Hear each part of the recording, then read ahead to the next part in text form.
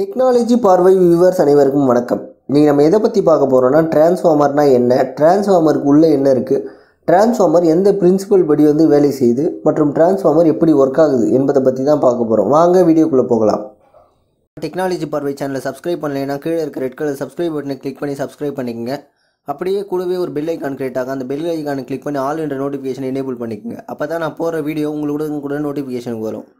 டிரான்ஸ்ஃபார்மர்ன்றது வந்து ஒரு electrical device இந்த டிவைஸ் ஆனது ஃப்ரீக்வன்சி மாறாமல் எலக்ட்ரிக்கல் பவரை ஒரு சர்க்கியூட்லேருந்து இன்னொரு சர்க்கியூட்டுக்கு மாற்றி கொடுக்குற வேலையை தான் வந்து இந்த டிரான்ஸ்ஃபார்மர் வந்து செய்யுது இந்த டிரான்ஸ்ஃபார்மர் ஆனது வந்து ஃபேரடேஸோட எலக்ட்ரோ மேக்னெட்டிக் இண்டக்ஷன்ற பிரின்சிபல் படி வந்து வேலை செய்யுது மோஸ்ட் காமனாக வந்து இந்த டிரான்ஸ்ஃபார்மர் வோல்டேஜை ஸ்டெப் அப் பண்ணி தரத்துக்கும் மற்றும் வோல்டேஜை வந்து ஸ்டெப் டவுன் பண்ணி தரத்துக்கு வந்து யூஸ் ஆகுது. டிரான்ஸ்ஃபார்மரில் இருக்க முக்கியமான பாகங்கள்னு பார்க்கும்போது primary winding secondary winding laminated iron core. இது மூணும் வந்து முக்கியமான பாகமாக வந்து கருதப்படுது. இதில் வந்து நம்ம ப்ரைமரி வைண்டிங்கில் வந்து ஏசி சப்ளையை இன்புட்டாக வந்து கொடுக்குறோம். செகண்டரி வைண்டிங்கில் வந்து ஏசி சப்ளையை வந்து நம்ம அவுட்புட்டாக வந்து எடுக்கிறோம்.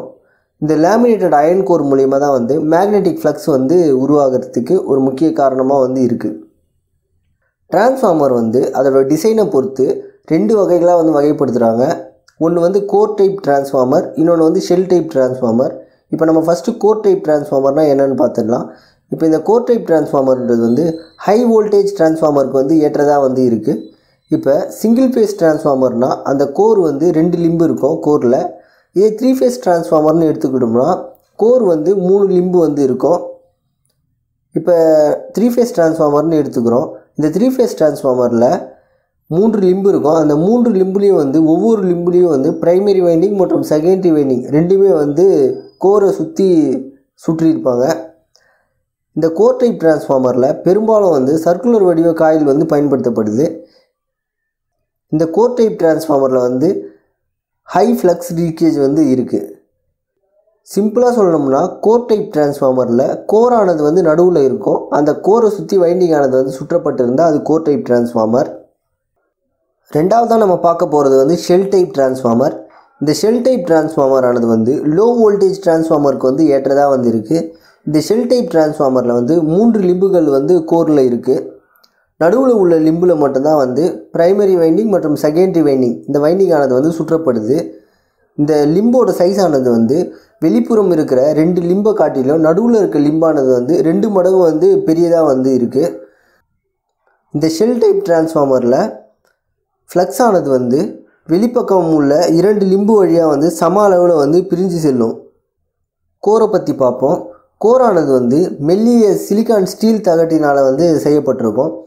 இந்த கோர் வந்து ஒவ்வொரு தகடுமே வந்து தனித்தனியாக வந்து இருக்கும். இதோட ஷேப்பானது வந்து E shape L shape I shape இந்த ஷேப்பில் வந்து கோரானது வந்து இருக்கும். அதை ஒன்று சேர்த்து வார்னிஷ் மூலயமா வந்து லேமினேட் செஞ்சுருப்பாங்க.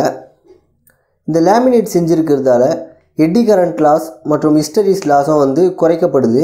இந்த லேமினேஷனோட திக்னஸ் ஆனது வந்து ஜீரோ பாயிண்ட் த்ரீ ஃபைவ் எம்எம்லேருந்து ஜீரோ பாயிண்ட் ஃபைவ் எம்எம் வரைக்கும் வந்து இருக்கும். டிரான்ஸ்ஃபார்மர் எப்படி ஒர்க் ஆகுது என்பதை பற்றி பார்க்கலாம். டிரான்ஸ்ஃபார்மர் ஆனது மியூச்சுவல் இண்டக்ஷன் பிரின்சிபல் படி வந்து வேலை செய்யுது.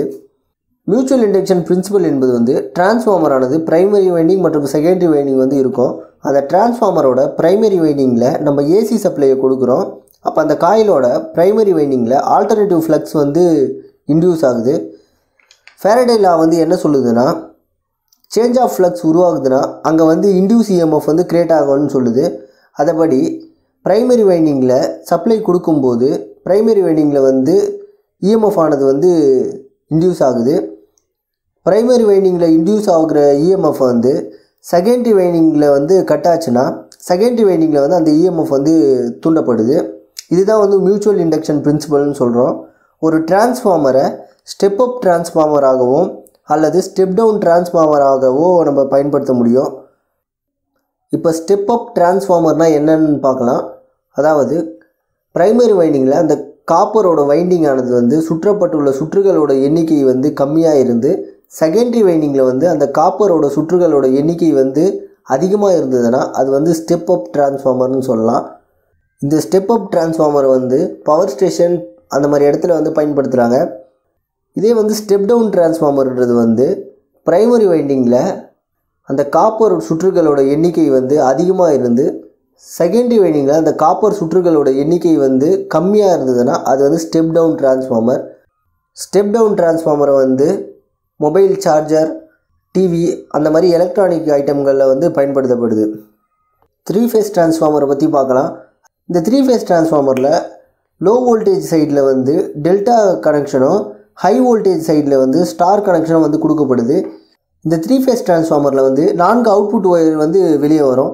இதில் வந்து மூன்று வந்து ஃபேஸ் ஒயர் அதில் ஒன்று வந்து நியூட்ரல் ஒயர் அதாவது ஹை வோல்டேஜ் அவுட்புட் எடுக்கிற சைடில் வந்து நம்ம இன்சுலேட்டட் புஷிங் வந்து பயன்படுத்தப்படுது. ப்ரைமரி சர்க்கியூட்லேருந்து செகண்டரி சர்க்கியூட்டுக்கு பவரை வந்து டிரான்ஸ்ஃபார்ம் பண்ணுறதுல various kinds of energy losses எல்லாம் வந்து ஏற்படுது. இந்த அனைத்து எனர்ஜி லாசஸுமே வந்து வெப்பம் மூலயமா வந்து சிதறடிக்கப்படுது.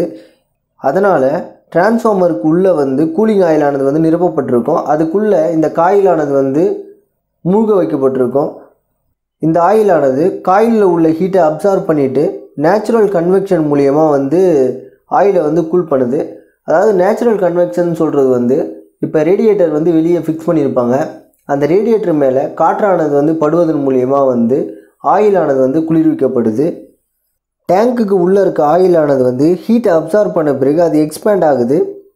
இதை வந்து கன்சர்வேட்டர் ஆனது அந்த வால்யூம் சேஞ்சை மேனேஜ் பண்ணுறதுக்கு வந்து மிகவும் வந்து உதவியாக வந்து இருக்குது கன்சர்வேட்டரில் வந்து ப்ரீத்தர் ஆனது வந்து பொருத்தப்படுது. இந்த ப்ரீத்தரில் வந்து சிலிக்கா ஜெல் வந்து பயன்படுத்துகிறாங்க டிரான்ஸ்ஃபார்மர் ஆயிலானது எக்ஸ்பான்ஷன் அல்லது கான்ட்ராக்ஷன் ஆகும்போது ப்ரீத்திங் ஆக்ஷன் ஆனது வந்து நடக்கும். அப்போது வந்து காற்றானது வந்து உள்ளே போகும்போது அதில் இருக்க மாய்ச்சரை வந்து இந்த சிலிக்கா ஜெல்லானது வந்து அப்சார்வ் பண்ணிக்கும். இதுதான் வந்து ப்ரீத்தரோட வேலை. இது போல் பல்வேறு பயனுள்ள தகவல்களை அறிய நம்ம டெக்னாலஜி பார்வை சேனலை சப்ஸ்கிரைப் பண்ணிக்கோங்க.